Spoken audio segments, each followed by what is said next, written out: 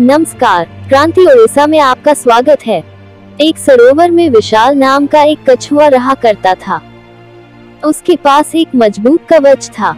यह कवच शत्रुओं से बचाता था। कितनी बार उसकी जान कवच के कारण बची थी। एक बार भैंस तालाब पर पानी पीने आई थी। भैंस का पैर विशाल पर पड़ गया था। फिर भी विशाल को कुछ नहीं हुआ। उसकी जान कवच से बची थी। उसे काफ़ी खुशी हुई क्योंकि बार बार उसकी जान बच रही थी। यह कवच विशाल को कुछ दिनों में भारी लगने लगा।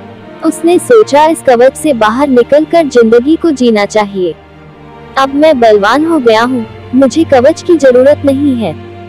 विशाल ने अगले ही दिन कवच को तालाब में छोड़कर आसपास घूमने लगा।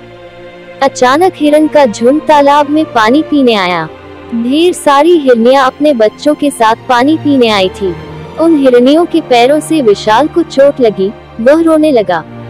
आज उसने अपना कवच नहीं पहना था, जिसके कारण काफ़ी चोट ज़ोर से लग रही थी।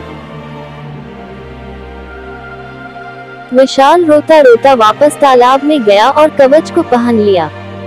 कम से कम कवच से जान तो बचती है। नैतिक शिक्षा। प्रकृति से मिली हुई चीज़ को सम्मान पूर्वक स्वीकार करना चाहिए, वरना जान खतरे में पड़ सकती है।